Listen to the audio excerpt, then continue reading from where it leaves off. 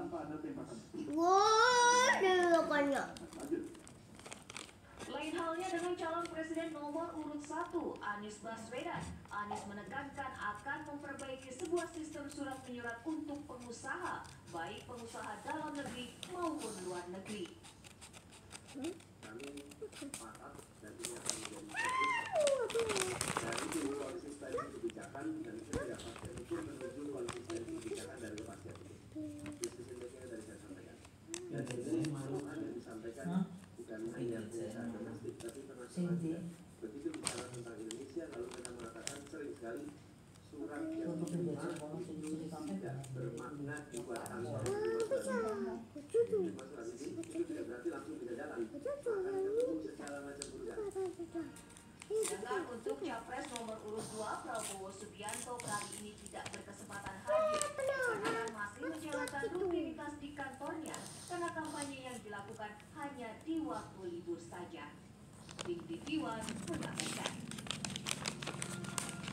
Sejumlah mobil komisioner Komisi Pemilihan Umum KPU Kota Semarang yang terparkir di Gedung Padanaran Semarang dirusak oleh orang tak dikenal. Kami hadirkan informasi selengkapnya usai jeda.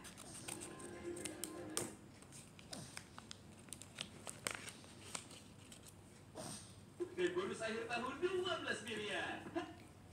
10 juta 50.637,26 semula 98 juta Kado sama mana? 900 No, I'm not that angel. sedangkan besaran Ah. ibadah haji atau BP yaitu biaya yang dibayar langsung Iya. tahun 2023 menjadi 49 juta 812 711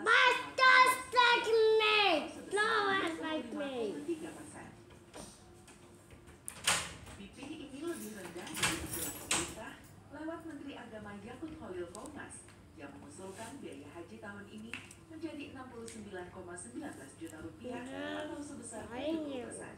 Tentu hal ini merupakan prestasi tak main-main dari DPR sebagai fungsi anggaran dalam menekan biaya haji tahun 2023. DPR menilai kenaikan biaya haji yang terlalu tinggi belum dapat diterapkan dalam waktu dekat, mengingat masyarakat Indonesia baru pulih dari hantaman COVID-19 yang terjadi tiga tahun belakangan. Efisiensi harga di berbagai bidang, namun Komisi 8 DPR RI tetap menegaskan dan meminta pemerintah melakukan pelayanan terbaiknya pada jamaah. Ketua Panja Haji Komisi 8 DPR RI Arwanda Sopang menyampaikan beberapa usulan dari Panja untuk pemerintah terkait peningkatan pelayanan, kamu. akomodasi, pelayanan Iya. petugas saat menyambut dan melepas jemaah,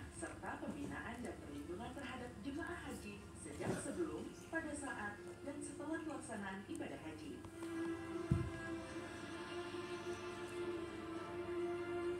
19 Mei 2023, DPR RI menyelenggarakan rapat paripurna dengan agenda tunggal penyampaian pemerintah terhadap kerangka ekonomi makro dan pokok-pokok kebijakan fiskal. RAPBN tahun anggaran 2024 Betul, pada. Jumat Enak banget, 19 Mei Orang enak 2023 betul Iya. di enak. Nusantara 3 Senayan Sekali Jakarta. masih orang enak kan ketemu Dengan kayak Iya. saya masuk. Iya. Itu di jalan orang enak yang mau dan enak dan enak ya orang enak. Ya, enak banget. Pepe. Lebih lanjut, fraksi-fraksi menyampaikan tanggapan atas Ken dan BPPR dalam rapat paripurna yang dijadwalkan akan